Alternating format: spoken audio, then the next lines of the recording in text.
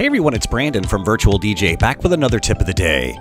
Now, Sandbox Mode is a feature that puts Virtual DJ into a test mode, which allows you to experiment with the upcoming mix, create or edit cue points, and now with Virtual DJ 2021, allow you to preview stem separation and effects all in advance without disturbing what the audience is actually hearing. Keep in mind that Sandbox Mode will only work when mixing audio and not video files, and your controller or sound card is set to a Master Plus headphones mode and not external mixer. Now for demonstration purposes, I am switching the output so that you can hear what is happening in the headphones, but I will keep the master output playing at a low audio level in the background. Now to engage sandbox mode, click on this button in the upper part of the skin.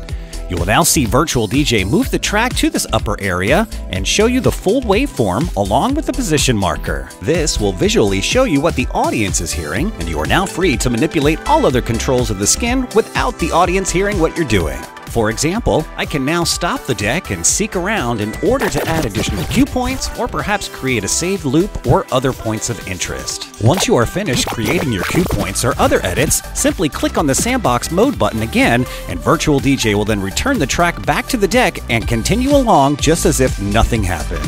Another great example is to test your stem separation bleed levels to make sure that they sound perfect with the track.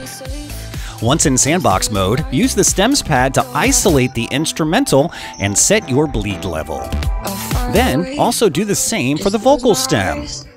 Additionally, you can also check your stems effects mode to test out different effects and also make parameter changes to make sure they are how you want. Once you are finished, disable the effects and exit out of sandbox mode, and you are now ready to use your stems and stems effects live for the audience to hear. Sandbox mode also allows you to test and preview your mix in order to make sure that everything sounds perfect before. Now, enable Sandbox mode and load your next track. Now, jump forward to your next mix point and start your mix. You can use your crossfader and upfaders all again without altering what the audience is currently hearing on the master output. Remember, you can also preview your mix with stems effects as well. Here, I want to loop the vocal stem and mix out just to hear how it sounds before mixing it live. Alright, sounds pretty good to me. So now I will go ahead and disable the stems effects and exit sandbox mode and repeat the mix now live for all of my listeners to enjoy. As you can see, and most importantly here, with Sandbox mode, Virtual DJ makes it easy for you to create new hot cues and loops, fine tune your stems and test your stems effects, and preview and perfect your upcoming mix all before your audience even hears it. That'll do it for this tip of the day. We hope you found it helpful.